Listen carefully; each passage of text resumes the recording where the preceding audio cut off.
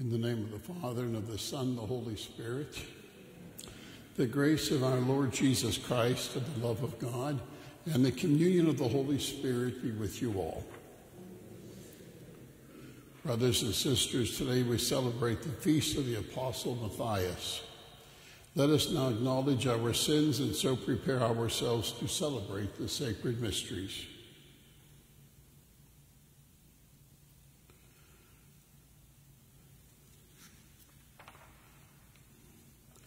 You were sent to heal the contrite of heart. Lord, have mercy.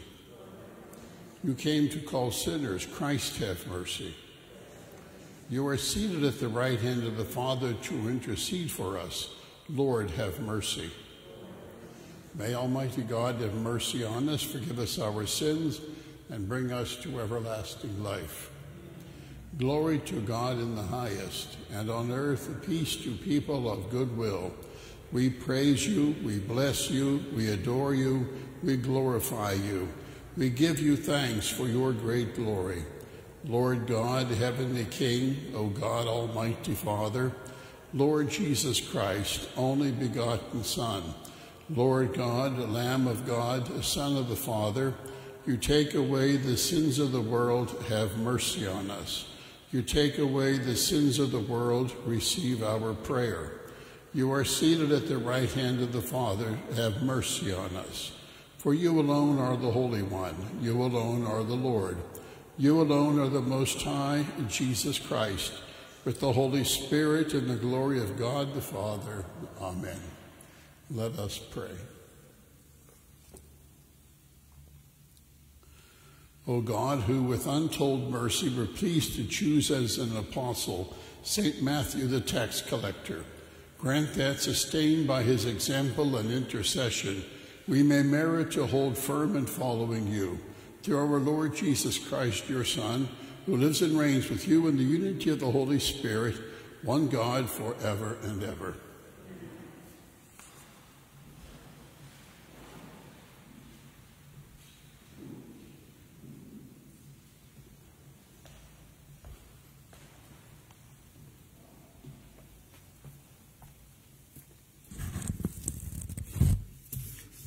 A reading from the letter of St. Paul to the Ephesians.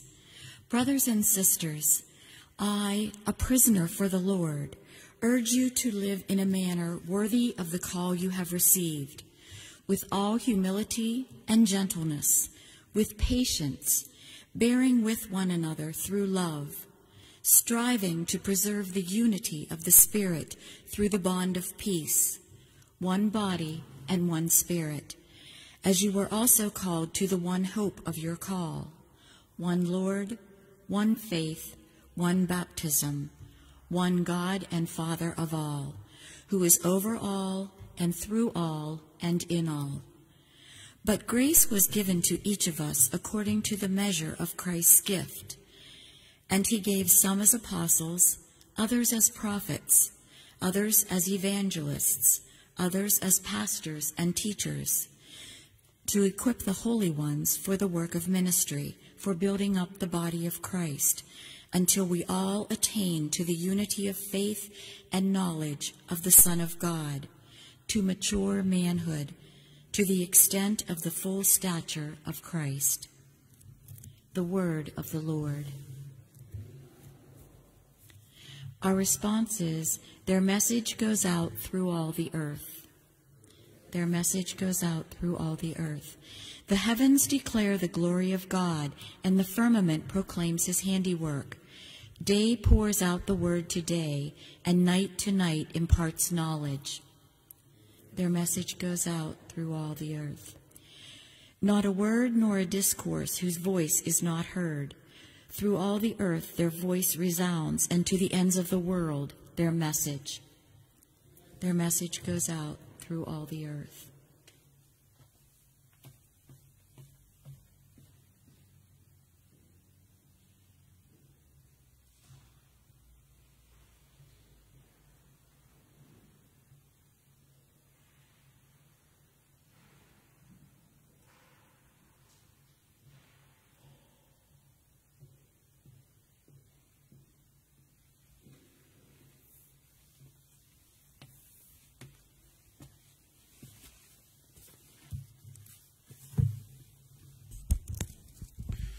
Alleluia, alleluia. We praise you, O God. We acclaim you as Lord. The glorious company of apostles praise you. Alleluia, alleluia. The Lord be with you. A reading from the Holy Gospel according to Matthew.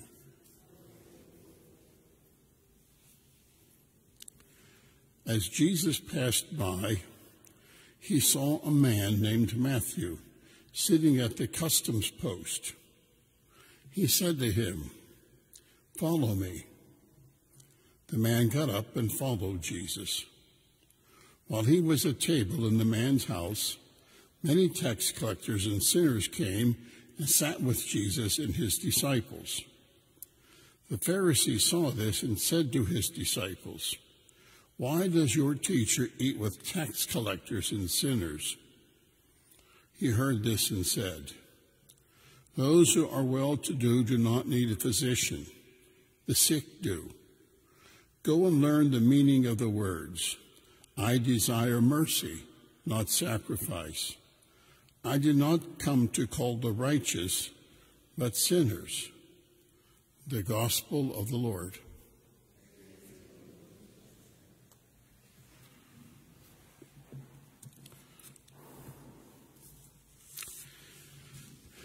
There is a truth in the gospel today that I think is difficult for any one of us to kind of imagine, but that's the way God works. If you had a gift to give to God, what would be the greatest gift that you could give to God? A gift for God. What would you give God? The answer actually is easy. What does God want from you as a gift? Your sinfulness. It's God's, it's our greatest gift to God because in recognizing our sinfulness, we also recognize what God can do for us in forgiveness. Plus, we begin to really truly see what love God has for us. Matthew, an apostle of the Lord, he is considered a sinner. Why? He is a, an Israelite, but he's collecting taxes for the Roman Empire, so the people saw him as a sinner. And it says, as Jesus walked by, he saw Matthew actually doing what was considered sinful. He was actually collecting coins. In fact, it was even considered unclean to touch a Roman coin, but this is what Matthew was collecting. It's in the middle of that that Jesus looks at Matthew and says to him, Follow me. Now, if you heard those two words, follow me, would you jump up and go? I don't think I would. But what is taking place here is that Matthew obviously knows that what he is doing is wrong. Taking money from his own people to pay for the Roman Empire. He knows he's doing something wrong. But it wasn't the words that Jesus said to Matthew, follow me. It was how he said those words.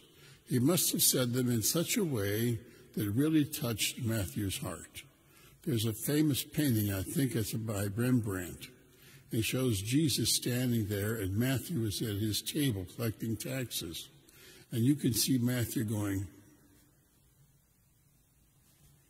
Me? you want me to come and follow you? It's an unbelievable thing. The Lord says, I have come not to call the righteous, but to call sinners. Pope Francis, I read this morning, his motto for his papacy and his, his whole life was this Miserando ut eligendo, which means he mercied me in order to choose me. What Pope Francis had to do before he could hear the voice of God was to obviously give the gift of his sinfulness to Jesus. It was in that sinfulness then that Jesus called him to good, lead a good life. So I know as human beings, we tend to try to hide the bad things we do in life, especially if they're really serious sin. But there is one person who wants those sins as your and my gift to him. That is our sinfulness. Because it's in our sinfulness we realize the love that God has for us because he still does what? Even no matter how bad our sin is, he still calls us. He still calls us one of his children, one of the people of God. And so it's a whole different way of life. Paul, think about St. Paul. He spent much of his adult life chasing down Christians so he could have them executed or put in prison because they were Christians. And whenever God called him, he realized the sinfulness of his actions and he followed Jesus for the rest of his life and endured many, many terrible things just to be able to spread the word. So today we, each of us have a gift. And it just seems like if there's any one person we would like to have God, have someone not know what we do that is sinful, it would be God. But I think, like I said yesterday, my mother said to remember God sees everything and knows everything. Well, in a way, that's a good thing because now we have the ability to offer that to God, and God now has the ability to offer us His love, which enables us to continue to do good things in life. Even Matthew, though he is considered a sinner, through his whole life, he still considers himself a what? A sinner. But nevertheless, we are still the children of God. As the children of God, we will be sinners until we are called to the next world to spend eternity with the Lord.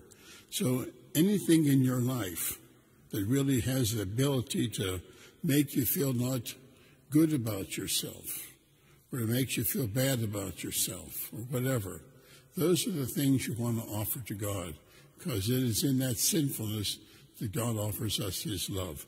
I know it sounds like a contradiction, but that's how God works.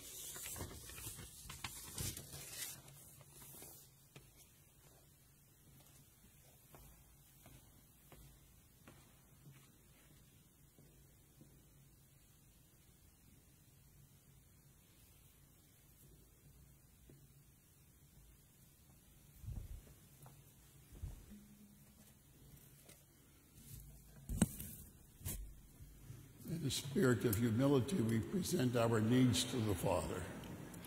For church leaders, may the peace and mind of Christ be their guide and their strength. Let us pray to the Lord. Lord, Lord, hear our prayer.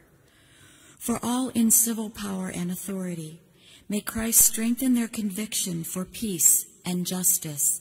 Let us pray to the Lord. hear our prayer, Lord. For all who are facing difficult trials and challenges in their lives, let us pray to the Lord. Hear our prayer. For our faith community, may the outpouring of the Holy Spirit continue to make us holy in the sight of God. Let us pray to the Lord. Hear our prayer, Lord. For those who have died, may they take their place at the eternal feast in the kingdom of God. Let us pray to the Lord. Lord, hear our prayer. Heavenly Father, listen to these, the prayers and the pleadings of your children. We ask it in your wisdom to grant them to us. We ask this through Christ our Lord. Amen.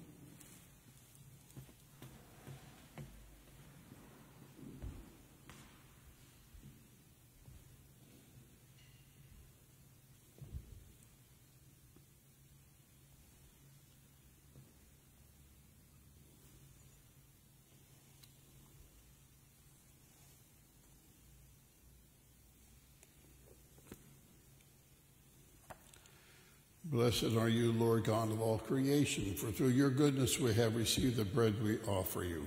Fruit of the earth and work of human hands, it will become for us the bread of life.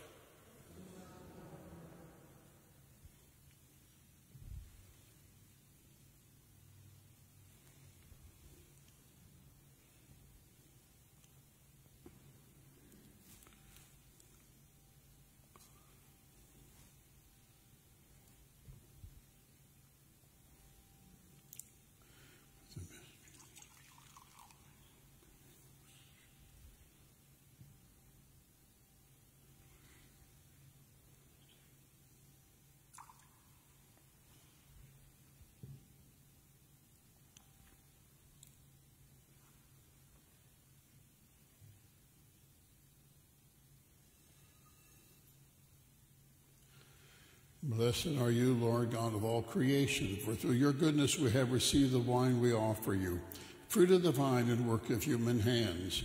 It will become our spiritual drink.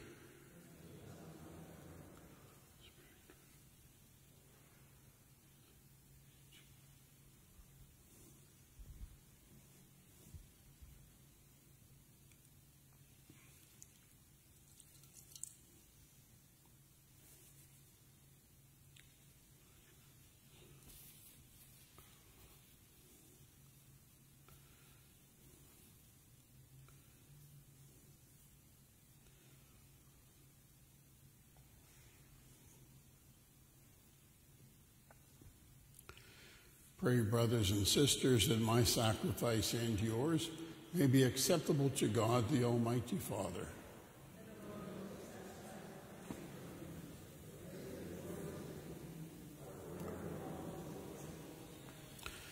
As we celebrate anew the memory of St. Matthew, we bring your sacrifices and prayers, O Lord, humbly imploring you to look kindly on your church, whose faith you have nourished by the preaching of the apostles through Christ our Lord.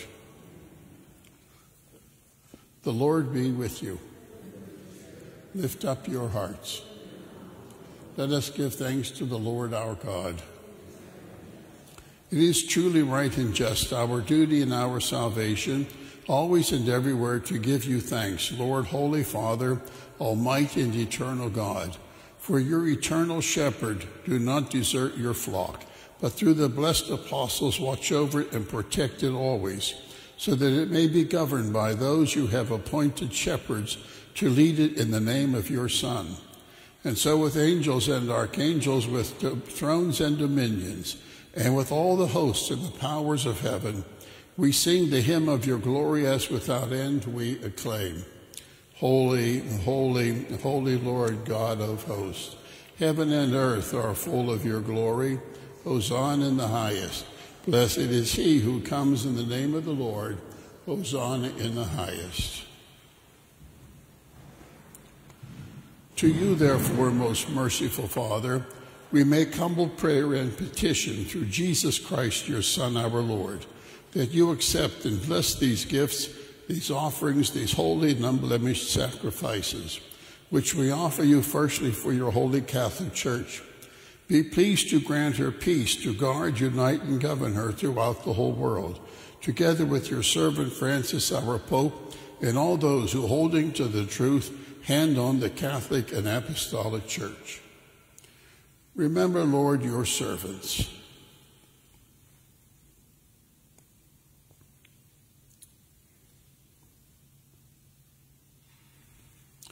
Remember all gathered here whose faith and devotion are known to you.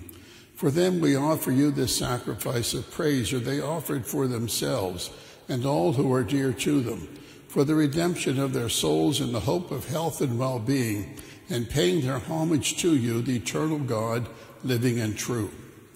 In communion with those whose memory we venerate, especially the glorious ever Virgin Mary, Mother of our God and Lord Jesus Christ, and blessed Joseph, her spouse, your blessed apostles and martyrs, Peter and Paul, Andrew, James, John, Thomas, James, Philip, Bartholomew, Matthew, Simon and Jude, Linus, Cletus, Clement, Sixtus, Cornelius, Cyprian, Lawrence, Chrysogonus, John and Paul, Cosmas and Damian, and all the saints. We ask that through their merits and prayers, in all things we may be defended by your protecting help.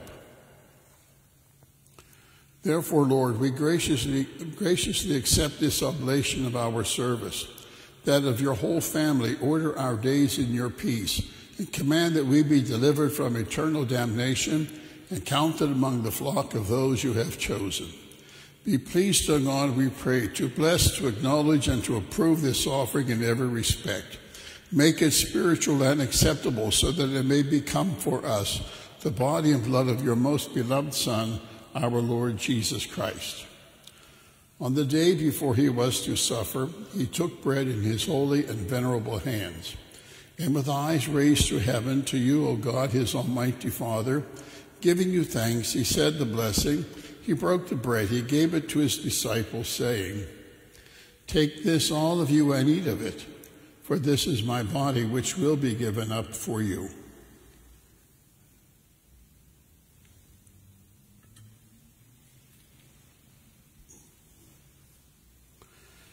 In a similar way, when supper was ended, he took this precious chalice in his holy and venerable hands. And once more, giving you thanks, he said the blessing, gave the chalice to his disciples, saying, Take this, all of you, and drink from it, for this is the chalice of my blood, the blood of the new and eternal covenant, which will be poured out for you and for many for the forgiveness of sins. Do this in memory of me.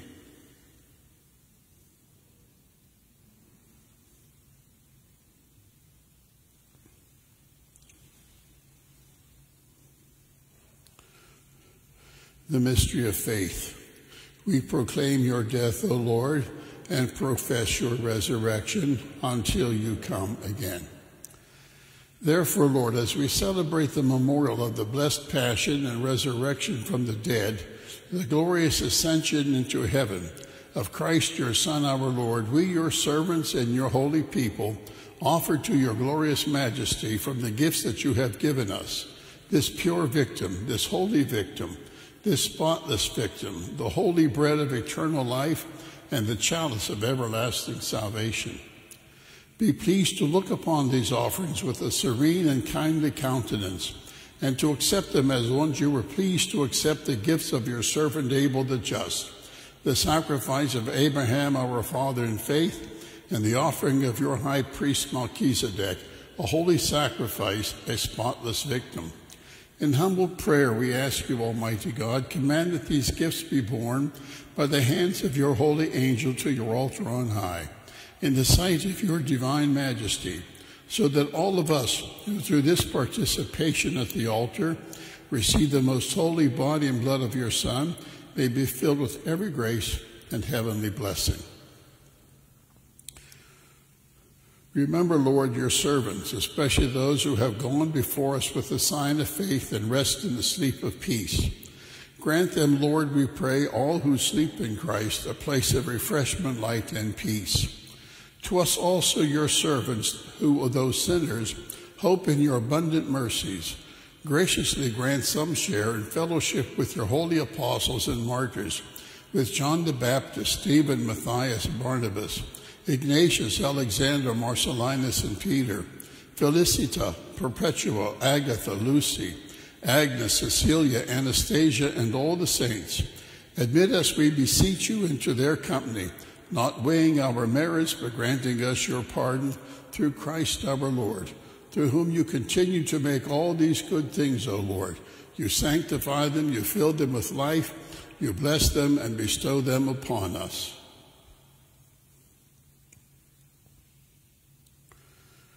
Through him and with him and in him, O God, Almighty Father, in the unity of the Holy Spirit, all glory and honor is yours forever and ever.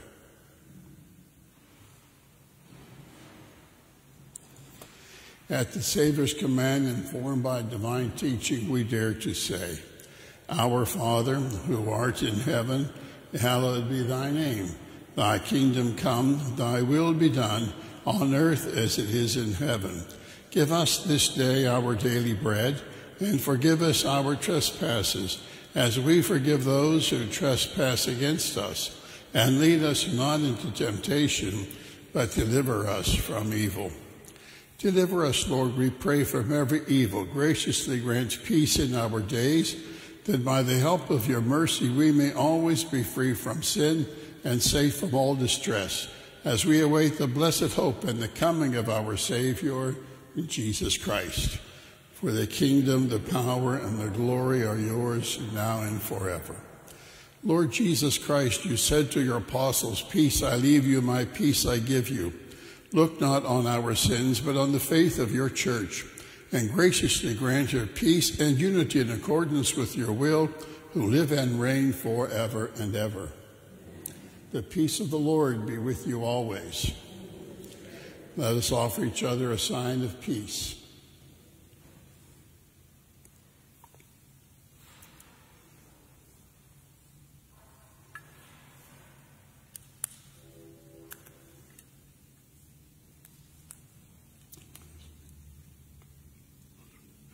Lamb of God, you take away the sins of the world, have mercy on us.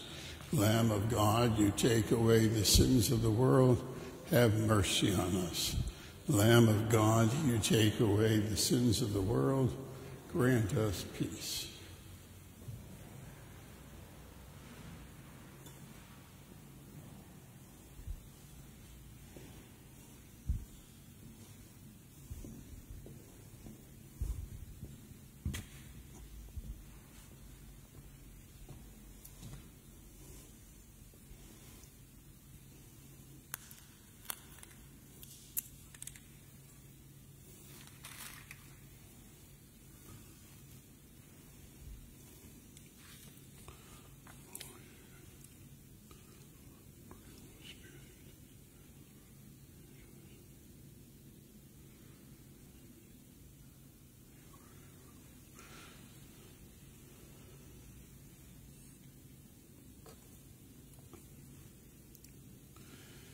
Behold the Lamb of God. Behold him who takes away the sins of the world. Blessed are those called to the supper of the Lamb. Lord, I am not worthy that you should enter under my roof, but only say the word, and my soul shall be healed.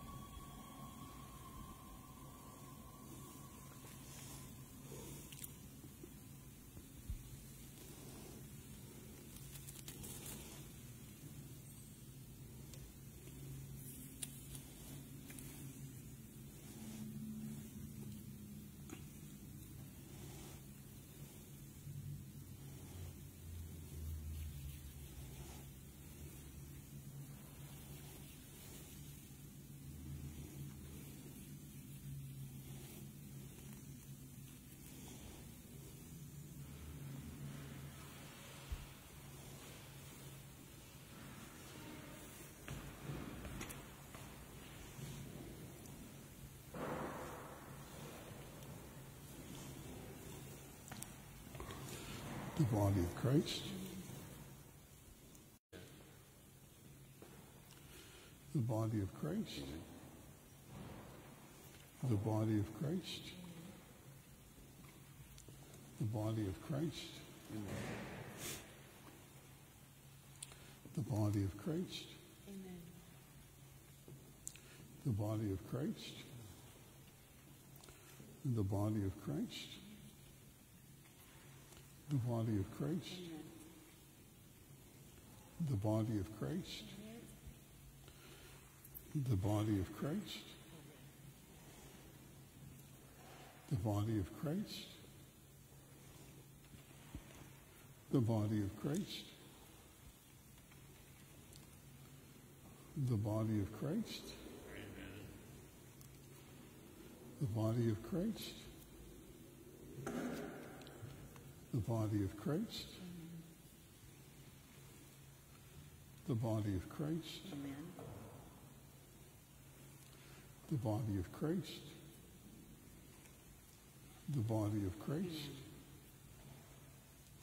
The body of Christ. The body of Christ.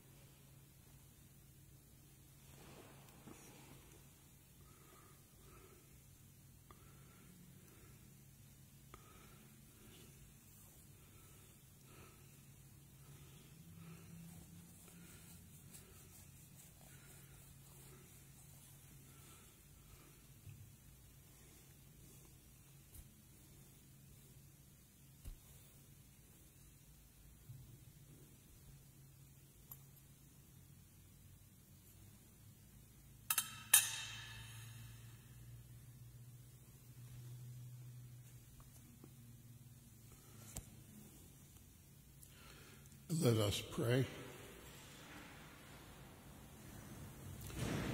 Sharing in that saving joy, O Lord, with which St. Matthew welcomed the Savior as a guest in his home, we pray, grant that we may always be renewed by the food we receive from Jesus Christ, who came to call not the just, but sinners to salvation, who lives and reigns forever and ever.